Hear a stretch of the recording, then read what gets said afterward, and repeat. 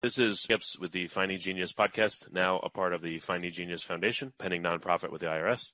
Uh, today I have a returning guest, Dr. Bill Miller Jr. Uh, spoken to him a number of times, and he and I talk actually pretty regularly. He's uh, very, very savvy, very interesting ideas about biology and evolution, etc. So I wanted to have him back because a topic that is passionate to him is uh, what what do our cells tell us about ourselves, our own existence, our own biology? I know it's a seems strange at first, but we're going to get into the details. So Bill, thanks for coming. Well, thank you very much. I'm delighted to be on. Yeah.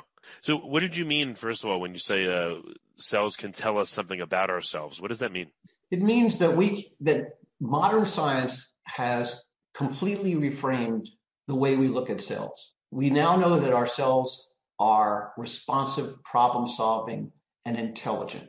And we're going to talk about all those things. And from that base, from this essential base that's different from just even two decades, two decades ago. There are a number of lessons that our cells can teach us. They provide us insight about ourselves. And the, there are multiple lessons that we can derive from them. They're all based within science. Uh, none of this is just theoretical. These are just basic scientific findings that, that are being applied uh, in, in a, an unusual manner. And what we learned by studying the cell in detail, its magnif- their magnificent complexities, is that there are central rules of engagement that extend across all biological systems, and that they can provide us with an insight into how we can conduct our lives, thoughts about how societies should live together collectively. And they offer through their engineering capacities, through their intelligent problem solving interactions, they offer us new ways of looking at our own health and new new pathways to enhancing our well-being and improving our lives. Well, let's let's break that down. What what does that mean? Like what what can cells teach us about working together versus just killing each other or fighting endlessly? You know, let's let's start with that.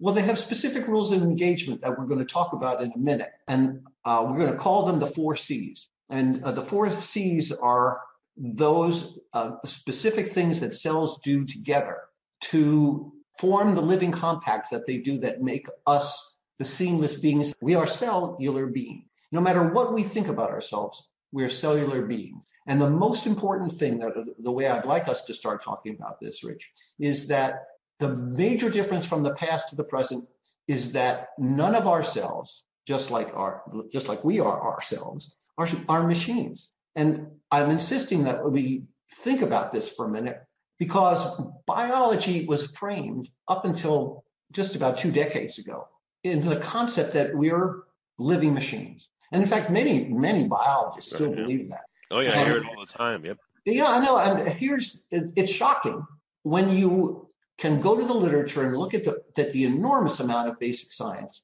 that teaches us that our cells are intelligent. Let me explain first, because it's just interesting to me. How did the concept that that living things are machine become so fashionable? Well, it actually goes back to the 16th and 17th centuries. There was uh, a point in time when European royalty got fascinated with very elaborate mechanical contrivance. So there were uh, terrific uh, tra- craftsmen that could make uh, forms of animated dolls, and they would parade them. They would actually travel them from from European court to court and give a show.